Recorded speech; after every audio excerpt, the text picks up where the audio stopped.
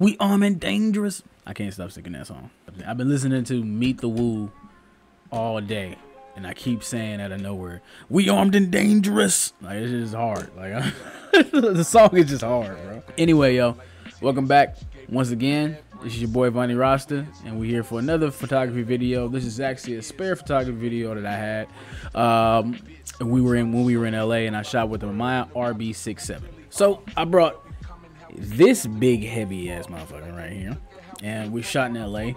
Uh, I know you guys probably previously seen my video in the Yashica T3. Um, yeah, that was way better to carry in Porter and Porterize. Carrying this heavy ass thing in my bag and having to keep getting it in and out was just constantly just too much.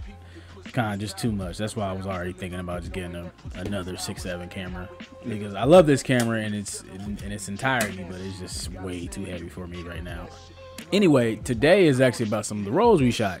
So I shot a couple rolls with my boy Fred. Fred is um, Fred is a designer, I would call him more, or just uh, Fred is just an artist. Fred is just a really dope person.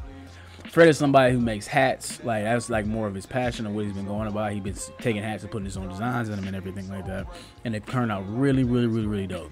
I would highly suggest you guys checking out Fred's page. His name is Fred Kruger on Instagram. Great, great dude, solid dude, bro. He does model. You know, you know what I mean? Back and forth, but like I said, he's more of an artist. Uh, yeah, I probably seen Fred in some of the other videos too because he, uh, his picture was in the last video uh, when we were just walking around and I was shooting on the uh, Yashica T3. But this video all today is about the Mamiya RB67, so I might as well put that in the frame. But yeah, this video was actually about the Mamiya RB67 right here. So, um, traveling out there, I just wanted to get a couple shots and stuff like that. So I wanted to show you guys a couple. I actually shot actually on uh, the Lomography purple color film, Lomography 400 purple.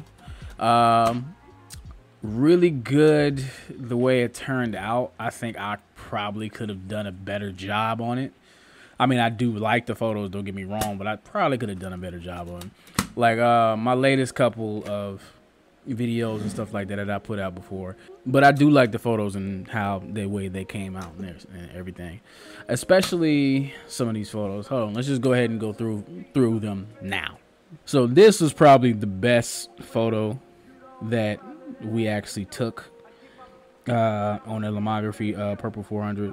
It was really just like we we just found this really cool spot. It was just like this big garden area with all the palm trees around and everything like that. Um, so I just had Fred stand in between of them, kind of like center in the middle of these uh, three palm trees, and kind of bent over by the hedges, by the uh, other plants and everything like that. And then just took that photo. Uh, then we had another another photo which is funny if you see that dude in the back with the bandana on his head, bro was just if you see that dude in the back with the bandana over there, bro would just just came out of nowhere. Just, just out of nowhere. And he was just like when I was sitting there taking the picture, he was like, yo, son, check this out. We was just sitting there like, yeah. We was like, we knew we was about to get some head ass wisdom. If you don't know what head ass wisdom is, that's when some crazy ass shit come out of nowhere, but it's low key true. All right, so we got some head ass wisdom. So he was just like, Yo, son, check this out. What you doing right now, it don't come from here. It come from here. Just looked at us in our eyes, and we were just sitting there like this. Then he just disappeared out of nowhere. He was like a magical homeless man. Like he just disappeared out of nowhere, and it was crazy. And I was stuck there, and I was like, that nigga low key right. I swear to God, I was like, yeah, but he's Loki. He was right. Like, let's, let's keep it a buck. Then there's another picture where you can see Fred trying not to laugh. then there was another one where we uh, we were actually in front of the uh, the shop I took some pictures of, and the last time, and this time I just had kind of Fred kind of sit on the curb, like right in between of the shots, just because it just made it just it gave you a really good urban city vibe.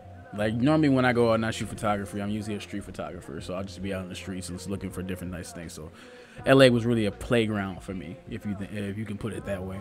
So I love this store, so we decided to hit it back up over there again. Then I was also we went back over to that gold store that I uh, took some pictures of in front of it, in front of too.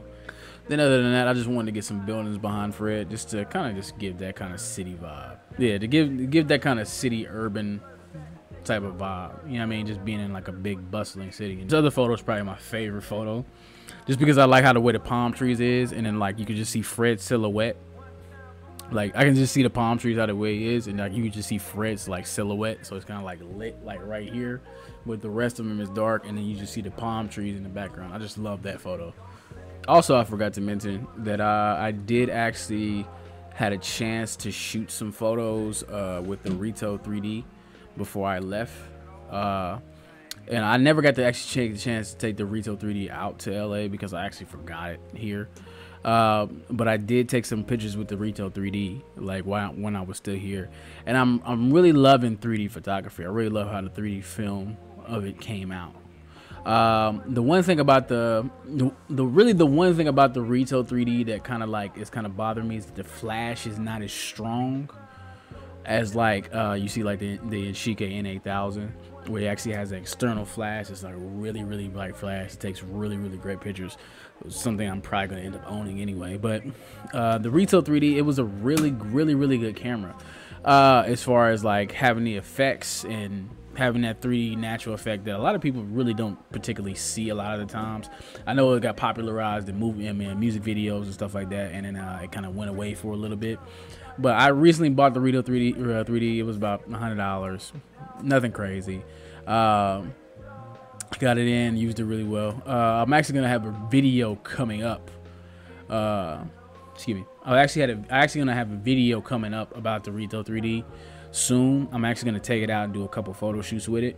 But just for now, before I do the full video on the Reto 3D, I wanted to put something out for you guys to show you guys like some some of the stuff that came through. Um, I might be switching from the Mamiya RB67, so uh, it's just that weight that's just kind of like irritating me and uh, having to lug it around and everything like that. Of course, you can just get like a neck harness or whatever, or just a body harness to carry it around and stuff. But it just it is it is a bit of a work type of thing, and it's weighing on me. So, like I said, I love this camera. I love I love the camera. I love the images it produces and everything like that. Uh, it's just that weight, man. that weight that weight is getting to me. It's really getting to me. But like I said, love the images. I love everything it produces. Uh, it's had a it had a good run with me and everything, but it might be time to shelf this for a little bit. Uh, and then to get a new beginning, if you want to put it that way. Uh, we shall see in the future, coming soon.